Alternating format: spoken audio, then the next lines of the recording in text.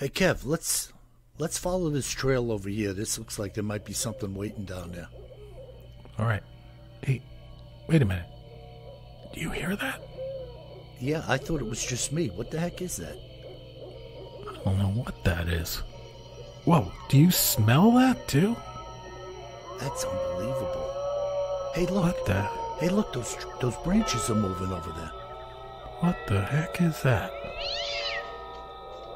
Holy cow! Is that what I think it is?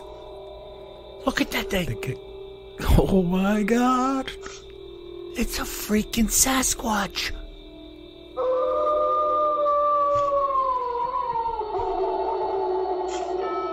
Welcome to the Bigfoot Terror in the Woods Sightings and Encounters podcast. I'm your host, W.J. Sheehan. Hello, everybody, and welcome once again to our podcast. By the time you listen to this, it will indeed be the new year. And I wish you and yours a happy and healthy new year. And may I introduce you to my brother? It's a little odd doing it this way. I want to bring Kevin in. Kev, how are you? I'm doing great. Yeah, that's right. Happy New Year, everybody out there. Let's hope 2022 is a great one. Yeah, yeah, and hopefully we'll ditch this Omicron, Covidon, Mamadon, whatever we got will be gone by the end of this year. Oh, I don't even know what you're talking about, Bill. Just yeah, forget yeah, it. yeah, yeah. I'm done with it. You know why you're so stuffed up from sawdust working on those Adirondack chairs? I, I don't even think it could penetrate you to have an effect That's on your right. I body. got the, I got the natural filters going. Forget the mask. I'm like full of sawdust. You got the woodworker antibodies. they're, they're like filtration in your nostrils and your pores. Yeah, as Bill said, I was working on uh, some Adirondack chairs today to put around the fire pit out in the backyard. And uh, the weather here in North Carolina has been spectacular. I mean, I like the cold and I like to change the seasons, but I got to tell you, I'm loving this Christmas week at 70 degrees. It's been all right. Yeah, yeah, I was a little jealous when you told me that. Uh, you know, it's a rare, you know, Kev, obviously used to live up here. It's a rare occasion we see that kind of number anywheres, you know, December, January, February. You know, it does happen once in a while, but uh, it, it's certainly not the norm, you know. But we're not, we're not suffering here. Yeah, we're break we're breaking the records here too. I mean, it's uh, this is a little out of the norm, but uh, it's been great. Uh, you know, and I don't have heat in my garage, so I've been out there working on these chairs. And otherwise, if it was 25 degrees, I wouldn't be out there. let me tell you. Now, tell the truth. Do you have like a "This Old House" poster on the wall in your garage? You know something? If you're listening out there, folks, I'm a devotee of this old house. I need like a this old house poster. I don't have anything good out there. I, you know, I might even need like a snap-on tool calendar or something out there. You know, you should write a letter. you should write a letter like to Norm Abram and ask him if he'd send you an autographed picture or something. He'd send me like an autographed picture of his Labrador Retriever. Uh, that was funny. but yeah, it's been good. And uh, sorry, folks, we did take a break last week for Christmas. So uh, you know, not not because anything was wrong. We just needed a little bit of downtime. One weekend off for us, but we're back at it, and I'm fully charged up and ready to go. Yeah, no, it's good stuff. And by the way, folks, I skipped over this in the beginning, but if you don't know me or my brother, or you've never listened to us before, I've written a series of books entitled Bigfoot Terror in the Woods. And all of them, nine volumes, are available at Amazon in paperback and ebook. And if you like to listen while you work, you can get one through eight in audio format at Audible, iTunes, and Amazon as well. So jump on the bandwagon. I've had a lot of people writing into me, Kev, telling me I got all nine of your books. One guy said he didn't buy any stocking stuffers this year. He bought all audio books. I know. I saw that. I'm actually going to cover that letter, Bill. I thought it's fantastic. That's my kind of guy. So some people think my contests aren't rigged, but with a guy like that, it's definitely rigged. I was going to say you might have to. While you're sending me that autographed copy of a book for New Year's, you might want to send him one too. I'm just saying, Kev. You know, I. Uh, it's hard to overlook such an individual. I know, but you overlook your brother. Yeah, come on. Well, let me ask you something, brother. Have you purchased all the audiobooks for your stocking? You're,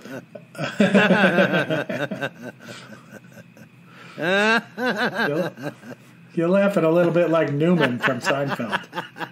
it's funny you said that because uh, uh, a, a nurse practitioner that I know, Mike, at the uh, hospital, uh, he sent me something uh, via text message the other day, and I made some crack at him. And it was funny. I mean, I have to admit, you know, once in a while I say something funny. And uh, so, what does he send me back? It's a picture of Newman rocking back and forth in the chair, making one of his sinister laughs. It just kept like repeating, like the same movement, you know. But it was Oh, yeah. Newman, you know. The mail keeps coming and coming and coming. What a Love char- Newman. what a character actor that guy was. They were all great. Oh yeah. Oh my goodness! So what do we have in our cryptids in the news and other oddities segment? Yes, this week we're going to your neighbor state, Bill, the state of New Jersey, Oh. the Garden State. Wow. Yeah, we're going to talk about a creature, and this is kind of weird how they name it, uh, which I'll explain in a minute. I didn't hear of it before. Somebody wrote in about it a while back, and it was on my list, so I checked it out. And uh, the name of it is Big Red Eye. Big red Eye. Have you heard of this one? I haven't. Okay, so the confusing part is I specifically said I, and every article about it, including some from uh, television from CBS 2 in New Jersey, talk about it as Big Red Eye.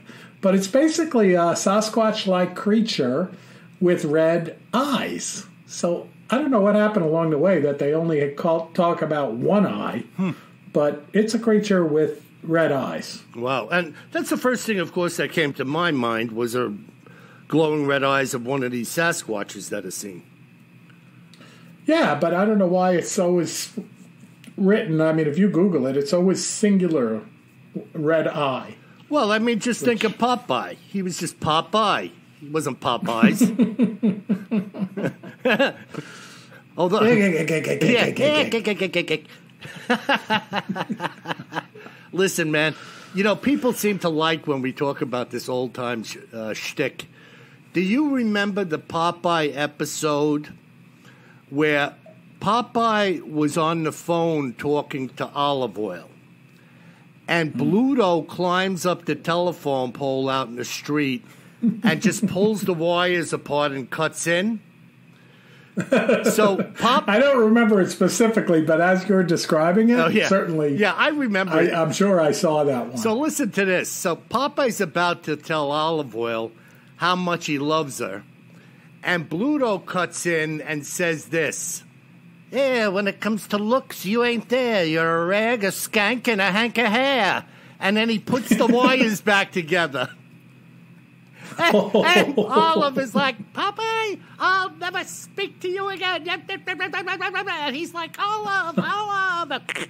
She slammed the phone down. You know how Bluto was always trying to get him and work him over, you know. And I'll never forget that. Well, I, I think he got him that time. Yeah, but it's like I always say, Kip, that stuff wasn't made for kids. Oh no, I mean, that was that was like an adult cartoon that kids sat down and watched and wondered, like, what the heck is going on here, you know?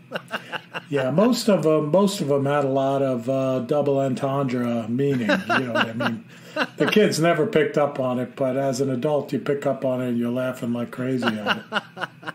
uh, so I didn't mean to interrupt you, but I can't resist. Let's. No problem. So yeah, so this monster, Big Red Eye, Uh-huh. or as I might like to call him, Big Red Eyes. Uh-huh. Um, you know, his existence and reports go back to the 1970s mostly in northwest New Jersey or northwestern New Jersey, around a place called High Point State Park. Yeah, and it's typically described as New Jersey's version of a Bigfoot. So, kind of seven feet tall, you know, 400 pounds, but with these glowing red eyes. Now, I have to say that uh, my first blush about High Point is that that is uh, a relatively speaking hotspot for UFO activity. Ooh, I didn't know that. Yeah, and if anybody has any info relative to that that's listening, I'd like you to uh, chime in with us at BigfootTerrorInTheWoods.com and just hit the contact link and tell me what you know, if anything, about uh, High Point. But go ahead, Kevin. Very cool. Yeah. So, you know, we always try to qualify these sightings, Bill, on who saw them and, you know, what's their knowledge of wildlife and stuff like that. How credible are they, generally speaking, right? So I, I thought this was pretty interesting. The first uh, person that they cite in this article is retired forest ranger Tom Card. And he said he heard a tremendously scary sound in the woods while at work back in the 1970s. He said when he saw two frightened rangers, who, by the way, were armed with sidearms, running away from the noise, Card said he didn't know what it was, but he never went back in there to find out at that point in time. He said it was a wailing, howling kind of scream, and uh, they were a little unnerved, more than a little unnerved, because they never heard anything like this from any of the other wildlife in the park or anything they'd ever heard of outside of the park as well. So he saw two other rangers that were armed fleeing from the woods? Running running away from it while he heard this wailing, howling kind of scream. Wow. I mean, come on. So, like, I would initially, Bill, you know, being a bit of an outdoorsman myself, when I read something like this, normally I'd say, oh, it's a coyote. You know, when you first hear a coyote, you're like, what the hell? Like, is a, is a woman getting murdered across the street from your house? And then you see the coyote. But this guy's a forest ranger. Like, he knows what a coyote sounds like. yeah, and let me tell you something. When you're running while you have a gun, you're obviously more than a little bit freaked out by whatever happened. Yeah. You know, either a Panzer tank showed up coming over a rise and all you had was a pea shooter, or that thing really uh, got under their skin when they heard that. Did did he say? Did he talk to them? Did they see anything? No, he doesn't mention that he that they saw anything, Wow. but they were running. Well, I'll tell you. You know, everybody likes to think they're tough as nails, but uh, the proof is in the pudding. I mean, uh, you know, Oh yeah, oh yeah. you realize suddenly how small and insignificant you are in certain situations, and obviously, that howl or scream or whatever got the best of those dudes. Absolutely. Wow. And yeah, we have a few more accounts that come off a website called Weird New Jersey, where they collect a lot of this stuff. And I don't think that's like the uh, state tourism site, but it could be. I mean, it is New Jersey. Sorry, folks. Yeah, well, you know, a lot of people think Jersey is a little weird. I'm just saying. I don't think we have a weird North Carolina site. Just saying. You want to create one? But like uh, like other Bigfoot sightings around the country, uh, um, Big Red Eye is often described as being, you know, this very large bipedal creature covered in long hair from head to toe, always seen, you know, bipedal, so seen standing and walking upright. Um, but it does have these glowing red eyes. So some of the accounts that are on this site, uh, I'm going to run through here. So over a period of two weeks back in 1977, there were a lot of reports of strange moaning sounds and eerie haunting screams hmm.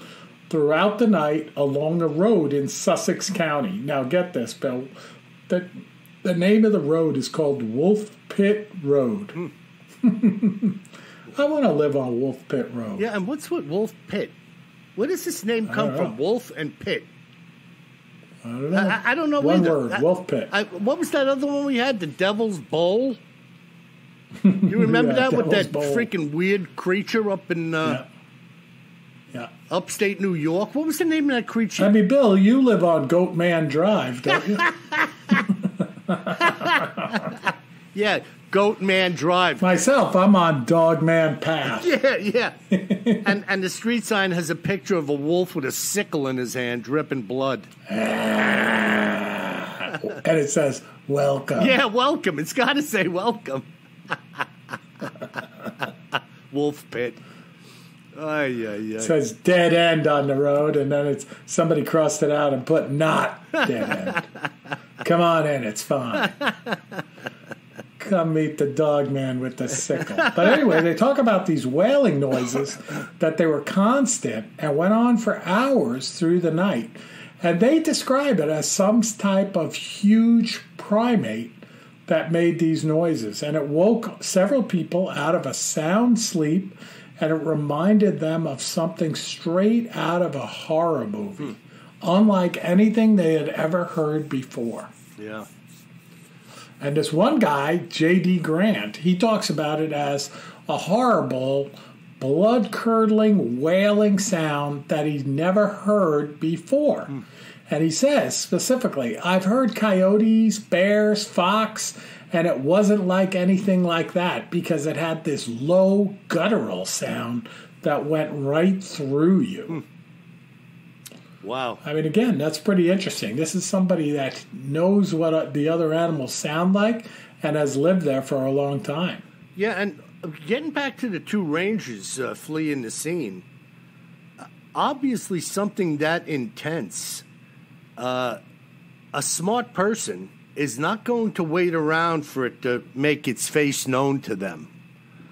I mean, if I hear that in the woods, I'm not jogging towards it. If you catch my drift. No. Oh, yeah. Jeez. So another person talks about seeing it in 1996 when her and a friend were walking along Layton Road and they encountered a creature by the side of the road. And they said, I knew it wasn't a bear. It was standing upright. It was very lean and it was humanoid looking. It was it had been there the whole time watching our approach. There was no noise, otherwise we have heard we would have heard something that big crashing through the underbrush. It was tall with long shaggy fur and glowing red eyes. Boy, oh boy. Yeah. I mean, what do you do, Kev? Just put yourself in those shoes. You run across something like that, you're out hiking. What's going to be maybe your second instinct after you freeze in your tracks to look for a second? Uh, probably uh, you know, rack the AR-15 that hopefully I have over my back yeah. with the 40 clip of 556 ammo.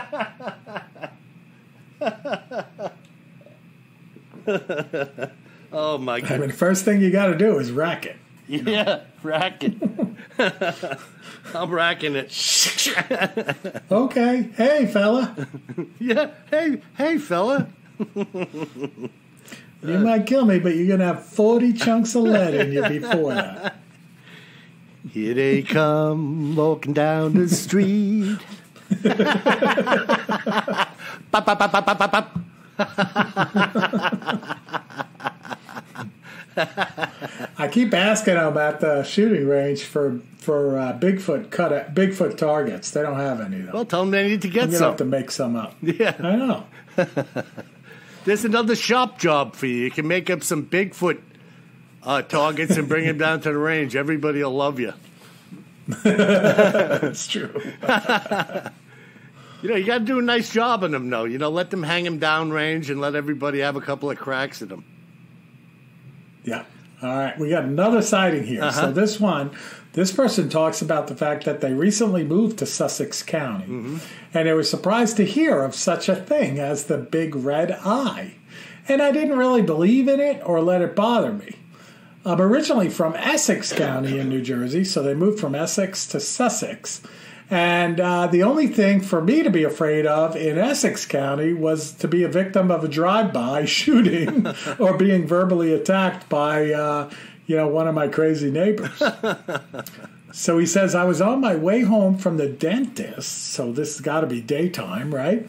And was getting ready to pull in my driveway when I noticed the figure of a tall man, maybe seven feet tall, and it was covered in hair. I didn't pay any attention at first because I thought it was a deer, but as I got closer, I could see it was far bigger than a deer. But as, but as quickly as I saw it, it vanished. What? Did he just say he wanted to be a dentist? no, Herbie.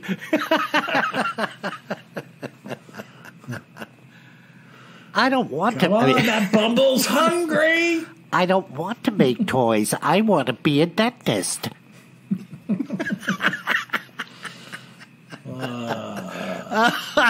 well, look, it sounds like a few people are uh, uh, getting a more than an eyeful of. There are, Bill, there are a lot of accounts of this creature. I mean, my only complaint is I think it should be called Big Red Eyes rather than Big Red Eye. Yeah. So, any of you Jersey folks, you know, also please write in at BigfootTerrorInTheWoods.com, contact us, and let me know why it's singular rather than plural. Yeah. I guess somebody, uh, obviously, somebody along the way uh, gave it that title, and it just stuck, you know. Eh, I seen Big Red Eye the other day, you know. Somebody saw a big red eye over in, uh, you know, the Pine Barrens or something, you know. I could see. get it. I'd, I'd get. I'd understand it better if it was down here in the southeast. Yeah. But, you know, in Jersey, I think they call it Big Red Eyes. Oh man, you know, it just shows you though. I was talking, uh, Kev. Did you did you share the email about the uh, the uh, kids down south and the rocks hitting the shed of that building, the storage building? yeah, I think so. Yeah, yeah, yeah. We the were woman writing about it. Yeah, we were yeah, we were talking about that. Uh, I actually spoke to that uh, young fella's mom, and uh, I asked her to call me, and she was apologetic getting on the phone. She did call me. She said the boy, prior to her calling me, said that his belief now was that it was done by a friend of his. Uh, but then she broke into another story uh, that she had just run across of a uh, Bigfoot sighting uh, at another person's house that she knew of. And I was just like, well, you know, I'm glad you called for two reasons to tell the truth about one and to tell the truth about the other one. Very cool. Yeah, so you don't know. I mean, you don't know where these things are going to show up. And, you know, she said when she was growing up, uh, she had seen the Leonard Nimoy stuff and the Patty film and always thought in her mind that this Bigfoot thing, if it's real, uh, lives in the Pacific Northwest. And she said, Never did I think where I live in uh, South Carolina, North Carolina, New Jersey, New York, never did I think it was here. And, uh, Right. but apparently the creature is here, or creatures are here. so it's uh, Yes. it's interesting, you know. Speaking of creatures, the choppers are coming over. If you hear them. Let me see. I hear I hear a little droning sound. Yeah, they're heading away from here now. Yeah. It's a great sound, the sound of freedom. I wish they were allowed to like run off dummy rounds coming over a neighborhood just to fucking snap people, snap people out of it, you know. I'll tell you what, if they're ever going to do it, they're going to they're doing it out at the beach here in North Carolina. They they come over, Bill. They they uh, the V twenty two Ospreys were coming over the other day when I was out there before Christmas, and they had the uh, gangplank open on the rear of these things, four of them. You know, about hundred feet, and the guys are standing out there on the back on the gangplank. Wow, they're getting set up. while they're buzzing down the beach. Wow. You know, I guess they just want them to get used to that breaking the fear factor, you know?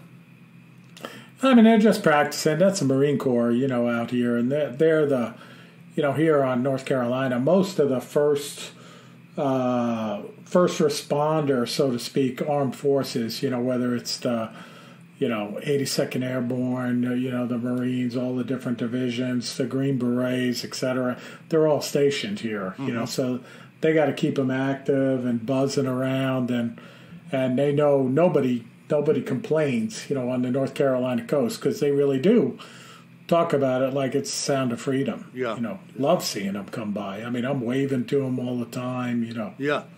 whenever they come over. Yeah, no, it's definitely, it's pretty cool, you know, and uh, uh, kudos to you guys for your service. Uh, a lot of guys can and do lose their lives or limbs, and we appreciate it. No doubt about it. All right, Bill, what kind of account you got to go with our Jersey Big Red Eye? Well, this is actually uh, pretty incredible. no less incredible than all of the accounts, as I always say. But uh, when you hear this, it's just going to stoke the fire within you uh, that what I say is true. People see something because they're looking. This following strange sighting was told to me by Tyrone and Minnie Brown, two business owners from the Chicago area that ran across something very odd on their way home from a show one evening in January. This is what they saw. First of all, Bill, we want to thank you personally for giving us an outlet to tell our story without ridicule. As we told you on the phone when we first spoke, the two of us run a music business in Chicago, which, for the sake of this sighting, is all we would like to say about that. On the night of what was to become our Bigfoot sighting, we had been given a set of tickets by a customer of ours to see the play Guys and Dolls, which at the time was touring the Chicago area. Having left work early in the day, which was Friday, we traveled back to our home about 45 minutes outside of the city to freshen up before heading back for the performance. Uh, where we lived would be called the suburbs, and there are still quite a few open areas and fields in the surrounding townships. On this particular Friday, it was a full moon, not a cloud in the sky, a fact that will come into play shortly. After having traveled back into the city and sat through the play, the two of us went downtown for a drink before returning home for the night. It was about 12 p.m. when we had exited the city proper and we were about 20 minutes into our ride home as we drove under this moonlight. The full moon was directly overhead. So bright was it that you could have driven with your lights out. Adding to that illumination was the fact that there was a couple of feet of snow on the ground, reflecting the light of the moon in every direction. I'm sure all of us can relate to that. We had just turned the corner onto a road that borders a huge open field, which used to be a farm, but hadn't been farmed in many years, the owners having passed away. Now, Minnie was the designated driver. I was sitting shotgun as we turned a corner and she began to accelerate. It was at that moment that my eyes were drawn to what I believed was an individual cross country skiing under the moonlight, and I said as much to Minnie. She immediately touched the brakes with nobody being behind us, and we were now doing maybe five miles an hour watching what we believed to be a skier. After some chatter about what a cool thing it was that this person was doing and this and that, I was the first to say, Wait a minute that dude isn't wearing any skis. We were now at a dead stop on the shoulder, watching intently. This field was likely a good 50 acres or so, and it was completely covered in snow, with this individual, or so we thought, somewhere around midfield, quite some distance away from us, nevertheless fully illuminated and in plain sight. Minnie then said, No skis and no poles either. What was tricking us initially was the gliding movement with which this thing, or whatever it was, was moving. It was very linear and machine like, with what appeared to be very long and straight strides, followed by equally long and methodical arm swings. Now, the snow at the edge of the field was about four feet deep, half of which was caused by the plows coming through. But we had said it must be two feet deep out in the field, basing that entirely on what was in our yard just 20 minutes away. We sat in the car for about 10 minutes watching as whatever we were looking at traveled the remaining distance of the field and disappearing into the trees. I was the first to breach the question. Did we just see a Bigfoot? Minnie shook her head in disbelief. The following morning, I had to open a business. This was Minnie's weekend off. I left early, and Minnie made no mention of what she had up her sleeve. She had been bitten by the bug, and during the day, without saying so much as a word to me what her plan was, she put on her boots and went back to the field in broad daylight. Now, this is Minnie talking. Tyrone had fallen asleep early, and to be honest with you, once we were back home, not much more was said about what we had seen. He took a shower and went to bed while I stayed up till 3 a.m., tossing it back and forth in my mind this idea of possibly having seen a Bigfoot. At 10 a.m., I jumped into my Outback and went back to the field, but nothing could have prepared me for what was to happen. The first thing I realized now standing next to the truck was just how far away what we were looking at was. Remember, we thought we were looking at a man or woman skiing, so our size perspective was way off.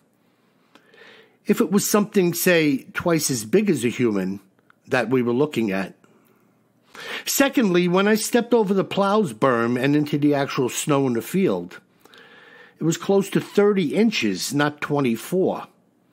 And I was in it up to mid thigh. What we saw seemed to be on top of it and moved very effortlessly through it. Nevertheless, I was determined and began to trudge in the direction of where we had first seen it. The day was bitter cold. But still, as I began to make my way out into the field, it took me almost 20 minutes to get to the point where I was seeing where it had walked. And it had taken numerous breaks along the way. And I had taken numerous breaks along the way. So she was struggling to get there. As I stood there and looked back at my car, I had to have walked almost a mile. And my car looked like a dot Speaking for myself the night before, I thought I was looking at a man at about maybe 150 yards. And now standing here, I realized that the proportions of what we had seen must have been massive to appear the way it did at this distance. Looking back and away from my position in the field, the tracks which it had laid down came from the highway as far as I could see. This was the very road that we had turned off, uh, off of to get alongside the field. And it had traversed the entire width of the field and quickly, making it appear virtually effortless in the process. Every impression where it stepped was caved in and filled with snow. But to our eyes at night, it didn't appear to be much above its ankles. At least that's the way we perceived it. I did my best to first measure the distance between the strides based on my strides, after which I checked the measurement when I was back home. It was very difficult for me just to walk, if you could call it walking, because I was more or less pushing through the snow. I later realized it was close to 10 feet per step that this thing was taking, and quickly. I then cleared an area around one of the filled in tracks and carefully removed the snow. Where we heard that before? From around it until I reached the bottom, doing my utmost not to destroy the evidence at the base. And what I found was amazing. Sitting at the bottom, virtually frozen from what must have been the compression of the weight of this creature, was a gigantic footprint. As I held my fingers as wide open as I could and touching my thumbs together in the middle, the print measured wider than my two hands. A measurement which I later calculated to be 20 to 23 inches long and two hand widths wide. It was then that my phone rang at the office, and it was Minnie. This is Tyrone now. Minnie calling me. She said to me, You're not going to believe where I am. And I said, Where? She said, I'm standing in the middle of the field where we saw that thing last night. And I can't believe what I found. Well, as you would imagine, I went ballistic for a few seconds before finally calming down, knowing my wife to be a strong willed woman. She went on to tell me everything you just heard. The next day, Sunday, we went to church early, and as soon as we got home, I changed gear and headed out into the field, and Minnie came back with me. This time we both had a little easier time of it because Minnie had been the trail breaker the day before, but it still took us 15 minutes to walk out there. There was no wind, and the print she had measured the day before was still perfectly frozen, fully intact, just as she had described it. And all of the tracks it had made were nearly in a perfect line, one foot placed directly in front of the other, as far as we could see from the wood line to the road. When I tell you I was blown away, that's an understatement. I was stupefied, just trying to come to grips with having seen this thing and how big it was. The way our car appeared in the distance and the fact that this thing looked like a man at a hundred yards, God only knows how big it was. It probably was more than 10 feet tall and 1,500 pounds for all I know. We left the field that day, knowing we saw a Bigfoot. And every night and day since then, we're looking for it when driving, hoping to see it again. The thought of it standing in the field, frightening. But after we'd gotten over it, we realized what a remarkable thing it was we had encountered. Very few people have heard this story as we have told it to you. And out of those few, I don't believe any of them believed what we had said. What do you think, Kev? That is wild. Right in the suburbs of uh, Chicago. Not that hard to believe either, having been out there in the suburbs of Chicago. I mean, there's a lot of country around there. Yeah, and But under wild. under the moonlight, perfect spectacle in a white, snow-laden field. Huge, dark-colored silhouette stomping along. Kind of weird how Oh, it, yeah. And by the way, how could you not go back there and take a look?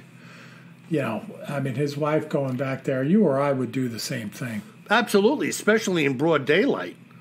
Absolutely. Yeah, I wouldn't necessarily go back there at 3 o'clock in the morning. Yeah, The next day, why not? Yeah. Go take a look. Let's see what we saw. yeah. It was only twenty minutes from their house, so they say, and you know, let's go take a peek. You know, I'm sure there was a lot more people driving around in the daytime.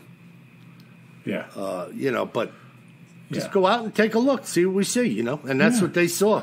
I mean, what an opportunity to see footprints, right? Yeah, and the reason I said where we heard that before, you remember the snowmobilers encounter I went through a couple of months ago? Oh, yeah. Those kids uh, trailered their snowmobiles up and they found those footprints following that creek. Yeah. And- no doubt about it. Then they the one kid gradually pulled the snow away and uncovered the same thing that hard pack, frozen bare footprint down in the bottom of the hole. Yeah. So that's interesting, though. Uh, and Very cool. perception is everything, right? They think they're looking once at 100, 150 yards. And uh, Minnie said that having hiked it, she felt she walked a mile. Yeah, well, when you look, I mean, it's the obvious thing of scale, Bill. You're Yep. you're looking at something that you think is a person, but it's almost twice as big as a person. Yeah. And they think this thing is gliding on top of the snow on skis, and it was walking in the same 30 inches of snow that was up to her mid thigh, Exactly. and she thought it was like up to its ankles. You know, obviously Exactly. wrong altogether, no matter how you look at it, you know? Yeah, I mean, an issue with scale. Very, very bizarre. But I'll tell you something, man. However big that thing was, man, it was freaking enormous. Yeah. Uh, whatever they saw that day was one big mother walking across that field. And uh, yeah. that's kind of freaky, man. When I hear these things and you think about running across one of them or having one of them pop out of the woods on you or in front of your car. I mean, come on. Again, man. I can't imagine, Bill. I mean, hopefully it happens one of these days in a safe setting, but uh, I can't imagine. Yeah. Yeah, the first thing you say, right, is, all right, calm down, Bill. Take out your phone and take the best steady handed picture you can. so all the people can say, that's not real. Look how steady it is. you know, ah, you can't win. Uh, you know, the, the the rocky pictures are why are they so rocky? The steady pictures are how can it be so steady? You know, but uh, Yeah, some truth to that. now remember, folks, you know, if you've seen something, say something. And again, you can contact us at BigfootTerrorInTheWoods.com. Hit the contact link. I'll certainly call you, ask you to call me. We'll have a good conversation. Uh, and to all those people who have chatted with me, which there are many, many, and you all know who you are, I thank you. You're very gracious, great listeners, very complimentary. Uh, Kev, the people love what we're doing, so we got to keep doing it. Oh, no doubt about it. It keeps us going, too. Yep. We love hearing from you. It's We fantastic. love. We also love to hear that we're helping you out in some weird way. You know, entertaining you, whatever. Yeah. We're doing the best we can. yeah, we're all making the best of the situation we find ourselves in. Excuse me. All right, Bill. Speaking of the best, we have some great listener mail uh, this week, and this one coming in from Judy from Georgia. It's one of my all-time favorite sets of uh, sets of email, and maybe it's because the title of it is "If Bigfoot Were Southern." So, you know, you may not have a great appreciation for this, Bill, you know. And again, you new listeners out there, my brother and I are brothers, real brothers. We were separated at birth. One of us was raised by a Bigfoot. We won't say which one. And uh, I live in North Carolina now for a long time and uh, have been off of Long Island for, geez, I don't want to say how long, but 30 something years probably, maybe 40 years. I don't know. 30 something years. And uh, so this woman writes in, Judy from Georgia, and she says, If Bigfoot were Southern. And she says, Hey guys, Happy New Year to you both. I saw this article, and if you haven't seen it, some of these are pretty funny. I love your podcast. Thank you, Judy from Georgia. Mm-hmm. So, Bill, I picked out some of the best here. Okay. And the first one says, if Bigfoot were Southern, he'd say, Thank you, ma'am or sir, after he swipes your Yeti cooler and carries it out into the woods. and then he'd send you a proper thank you note after carrying your Yeti cooler out into the woods. And make, may I add one to that? Sure. If Bigfoot was Southern, he'd say, Thank you, sir, as he pulled the screw out of your still.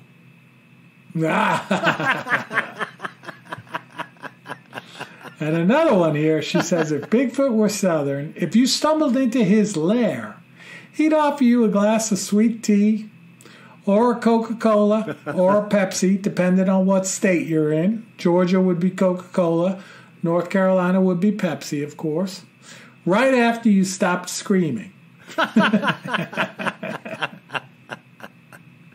and she says, if Bigfoot was Southern, he'd take off his baseball cap before sitting at the dinner table. Otherwise, Nana Squatch would slap it right off the top of his head. That's right. You mind your manners, boy.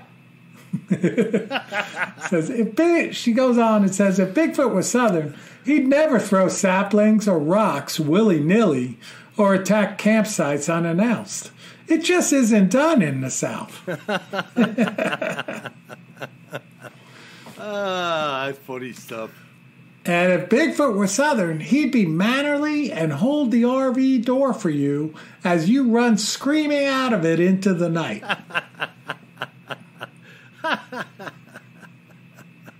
and this is one of one of my favorites here, uh, especially here in uh, football, college football bowl season. She says if Bigfoot were Southern, he'd be modest and want to wear clothing, probably a, an SEC football team shirt. And she's got like seven XL size. Yeah, you might be undersized at 7X. now, the question is, though, uh, which university would he be wearing? Oh, somebody from the SEC. I mean, I'd say it's Alabama, but you know that's just me. Roll Tide. And then finally, she says if Bigfoot was Southern, he'd never get away with all those blurry photos. Nana Squatch wants non blurry photo where he's wearing a dress shirt and not slouching, and make sure he's smiling and acting like he wants to be there in the photo.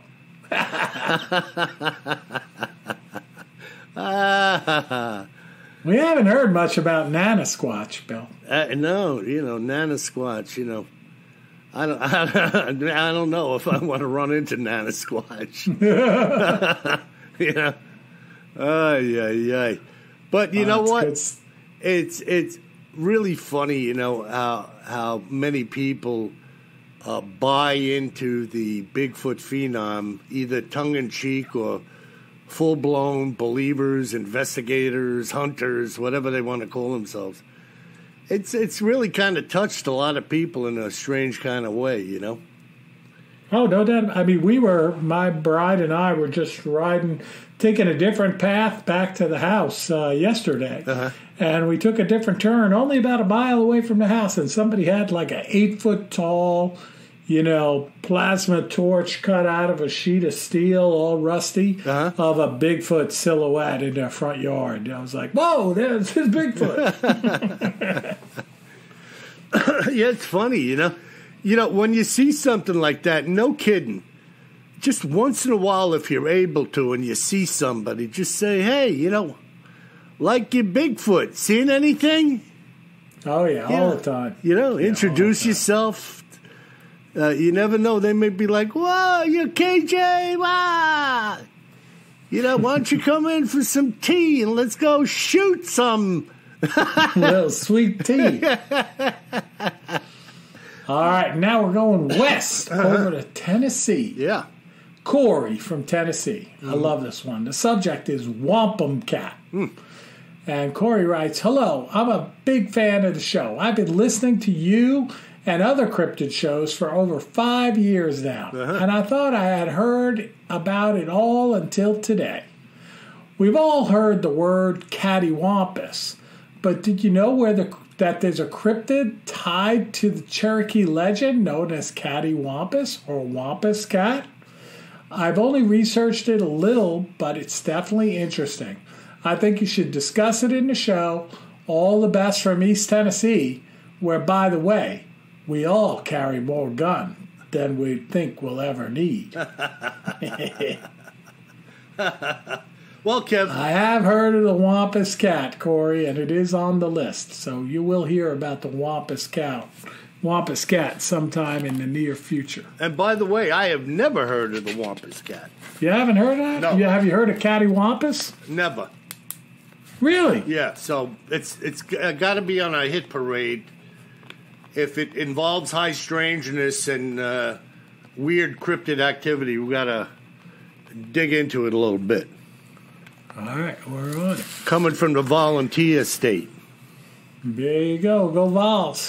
where they and then uh, uh, Michael, this is the one you referenced early on. Uh-huh. Well, he writes in with the subject of supporting the podcast. He says, Hey, WJ and KJ. uh He said, It's a couple of days after Christmas, and I didn't stuff my stop- stocking with goodies this mm-hmm. year. Instead, I stuffed my phone with all your digital books in the series Bigfoot Terror in the Woods 1 through 8. I love the way I can adjust the font size on my Kindle app, and a great read to have in case I'm ever stuck somewhere where I have a little bit of free time. There you go. Supporting the show by purchasing books and spreading the word. I have all your paperbacks, and now I have the digital copies too. You guys always have such great shows. Keep it up, Michael. that's what I'm talking about. Double dipping. he's got books, he's got ebooks, and supporting the show. That's Mike. Mike, if you were here, I'd shake your hand. Mm. And then I might take your wallet. Watch out, Mike. And by the way, Mike, and everybody else that's listening, I have to settle a score. Because I was watching the news tonight, Kev, and they had a little piece on all the people who, celebrity that passed away this 2021. And, That's that time of the year. yep, and it was Dusty Hill from ZZ Top. Oh, okay. They had them standing up doing Every woman loves a sharp dressed man. and they had the camera right on Dusty Hill.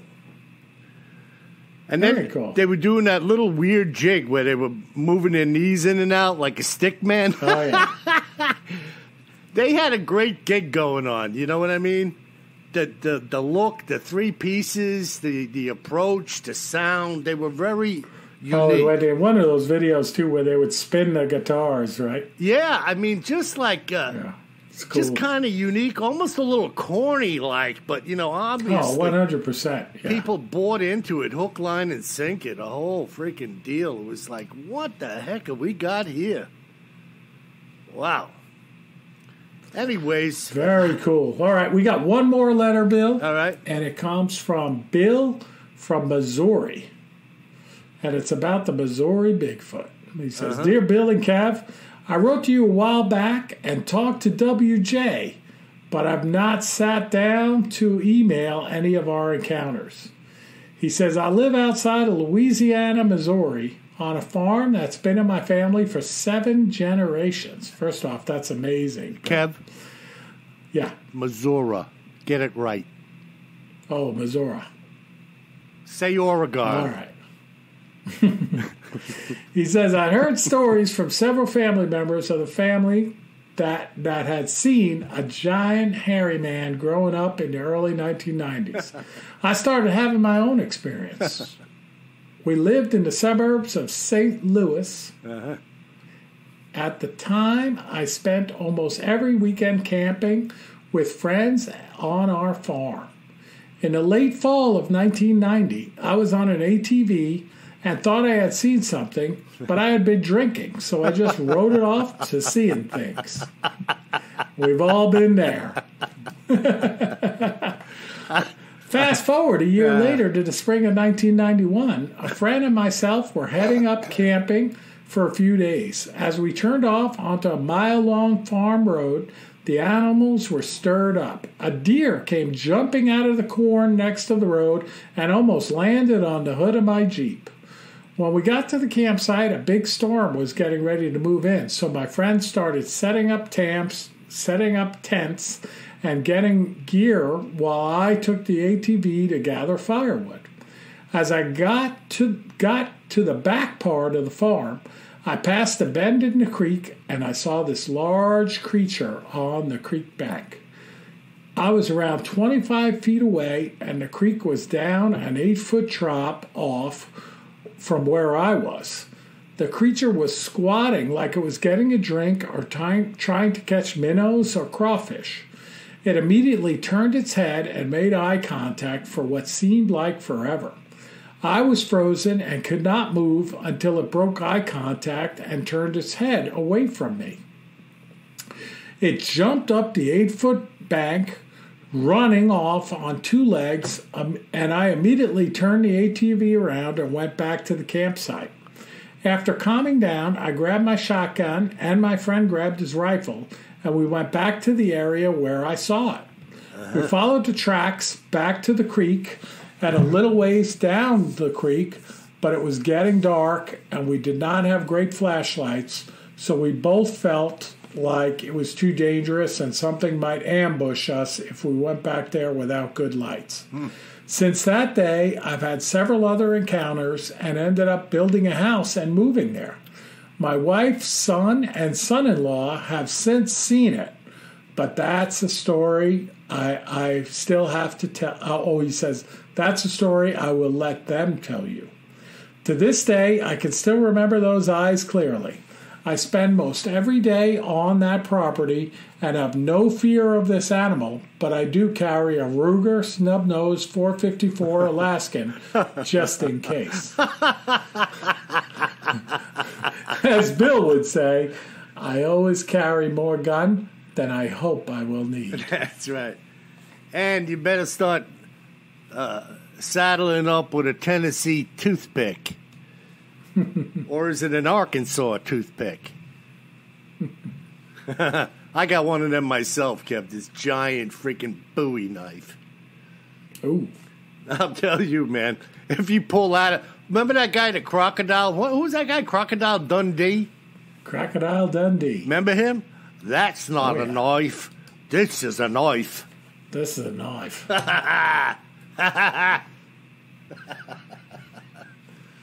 Hey, you know who? All right, Bill, great show. Good to be back in the new year. This is the first podcast of season four, by the way. Uh huh. Woohoo! Yes, sirree. Marching Get out on. the noisemaker. Thanks, folks, for sticking with us. Yeah, well, you know, we, we, uh, I think we're putting it out there, Kev. Uh, I know we're always interested in trying to uh, present things in a certain way. Maybe some people aren't used to our blend of humor, but we don't really care, do we? and uh, we're having a good time, folks, and it's always a pleasure for me to. Uh, chime in with you. And by the way, I did a little interview uh, a couple of two, three weeks ago on Night Dreams Talk Radio with Gary Anderson. So you might want to tune into that uh, one day and give a listen to uh, the interview.